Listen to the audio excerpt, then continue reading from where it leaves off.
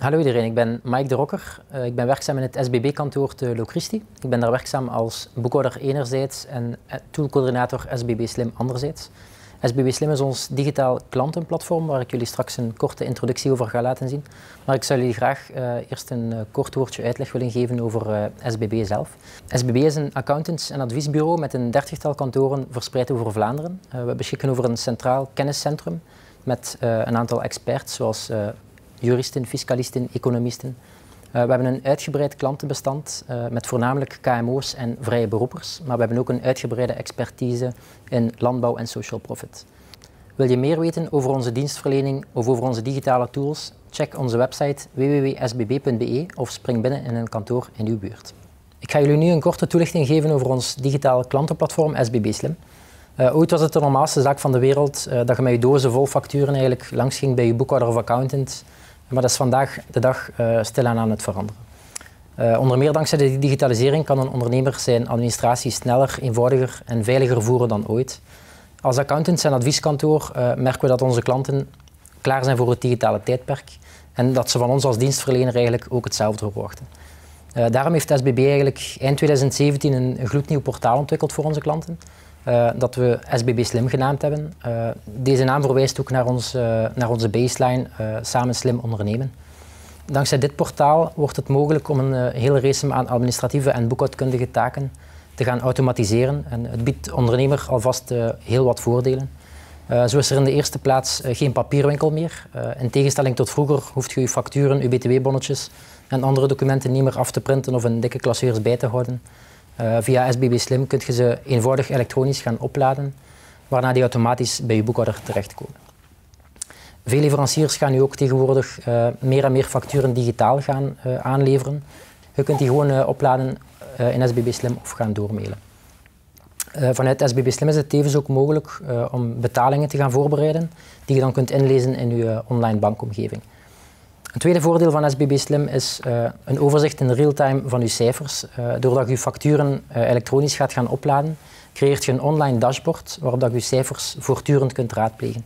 Dit real-time overzicht laat u bovendien toe om cruciale investeringen te vervroegen of misschien nog even uit te stellen. De documenten die jullie opladen komen terecht in een digitaal archief.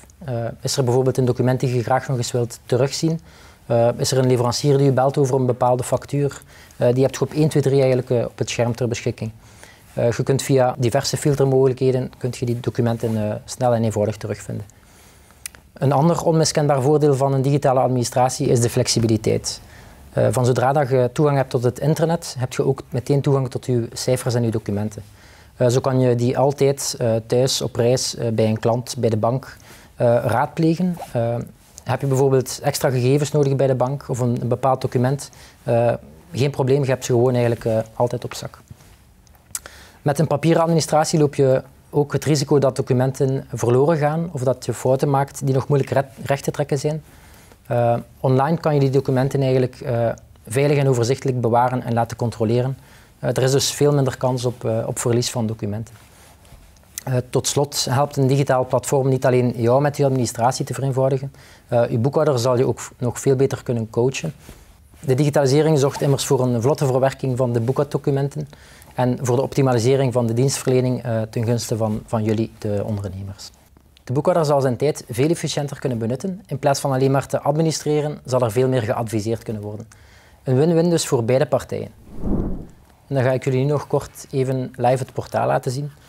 Uh, het begint eigenlijk allemaal met het, uh, het, digitaliseren en het doorsturen van die documenten. Uh, dat kan eigenlijk via de, de, drie postbussen. Dus enerzijds de, de aankooppostbus, de verkooppostbus en de, de diverse postbus.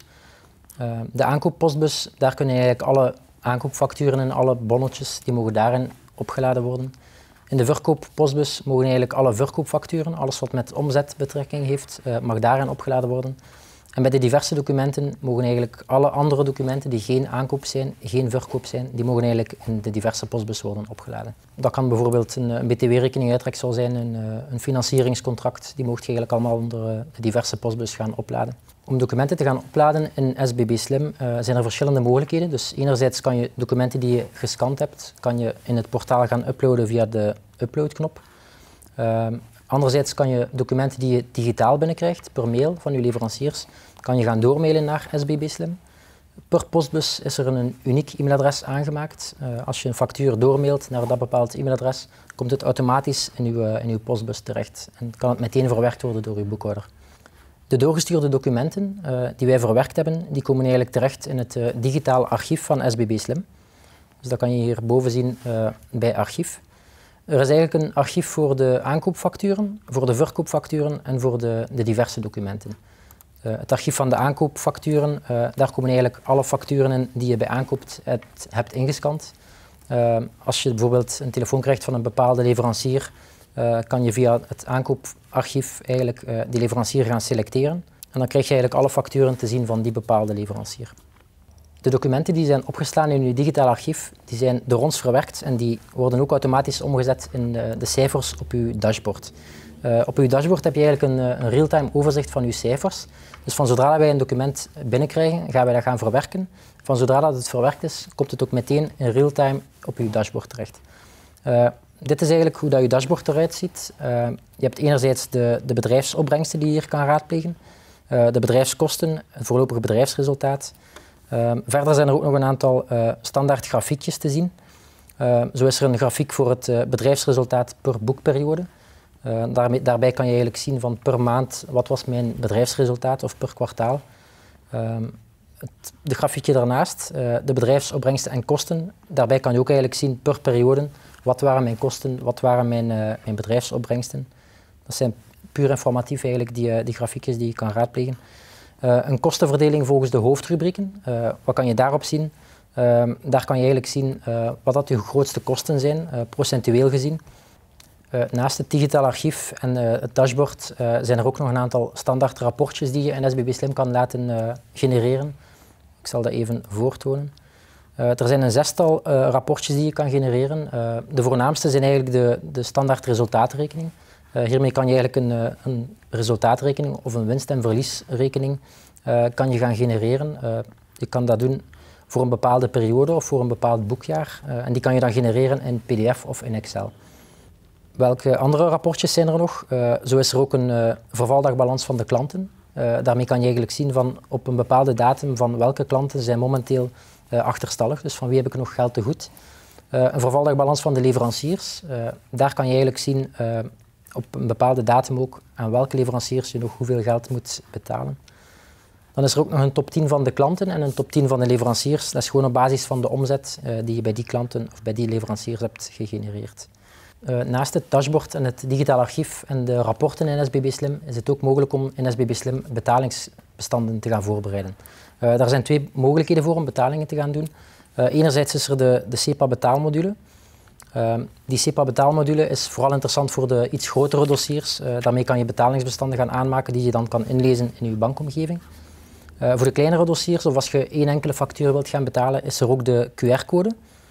Dus via SBB Slim kun je bepaalde factuur selecteren. Eh, je kunt een QR-code genereren die je dan kunt betalen via de bankcontact-app. en dan kan je die betaling uitvoeren meteen in, in je digitaal portaal SBB Slim. Die betaling kan je dan ook gaan terugvinden in uw archief uh, bij de uitgevoerde betalingen. Daarnaast is er ook nog een, uh, een tabblad historiek. Uh, wat kan je in het tabblad historiek terugvinden? Daar kan je eigenlijk een overzicht vinden met de historiek van de leveranciers, een historiek van de klanten en een historiek van de grootboekrekeningen. Een historiek van de leveranciers, dat is eigenlijk een overzicht van uw leveranciers met daaronder de verschillende facturen die je bij die leverancier hebt, hebt ontvangen.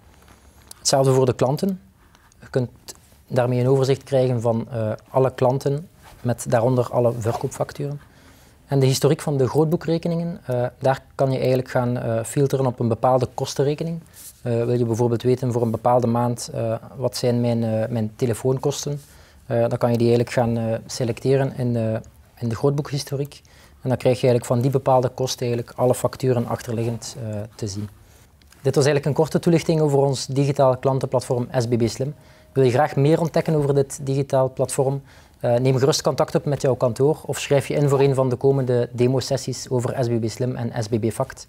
SBB Fact is ons gratis facturatieprogramma voor onze klanten. Uh, bedankt voor jullie aandacht en tot binnenkort op een van de demo-sessies.